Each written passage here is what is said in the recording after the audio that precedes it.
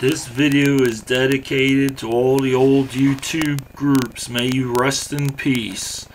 This is once again where I think YouTube kind of screwed us, or Google, or whoever. But as you can see, I had 45,264 groups.